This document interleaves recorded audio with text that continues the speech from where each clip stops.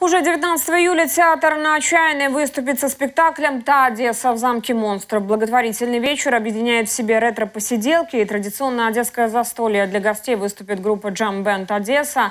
Организаторы обещают чисто одесский юмор, гостеприимство и радушие. Подробнее смотрите в сюжете Айсель Маминовой. Идею спектакля о разных периодах истории нашего города директор театра на Чайной вынашивал давно. Мужчина делится своим видением. Считает, что Одесса не только такая, какой ее хотят воспринимать туристы. Веселая, остроумная, отчаянная. Она еще бывает нежной, сентиментальной, печальной. И хотелось бы во все это ненадолго окунуть зрителя. Вместе с ним путешествовать по другой Одессе.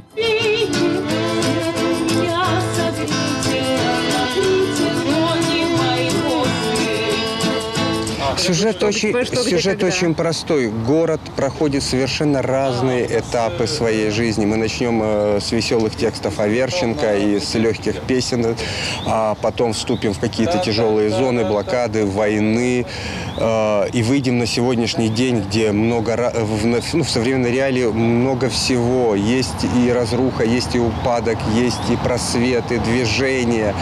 И хотелось бы, чтобы зритель ушел с одной простой мыслью. Этот город, э, он зависит от нас, от наших дел. Сами актеры с нетерпением ждут возможности выступить за пределами театра. Делятся, что на каждой репетиции продолжают изобретать что-то новое. Спектакль должен стать частью основной программы.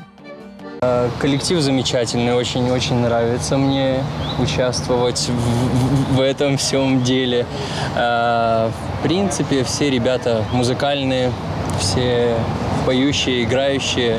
Одно удовольствие работать. Все вырученные средства пойдут на реставрационные и строительные работы, необходимые для спасения замка. Минимальный благотворительный сбор помощи составляет 500 гривен, но приветствуются и другие инициативы. Все средства, которые будут собраны, они все будут э, перечислены на счет замка. Этот счет, счет существует с момента, как нам подарили его, и мы до сих пор аккумулируем на нем все средства. Э, тратим там буквально вот на какие-то текущие расходы типа света, каких-то мелких ремонтов. Ну и ожидаем решения суда. Я надеюсь, что оно уже будет скоро принято. Здание будет уже окончательно нам передано.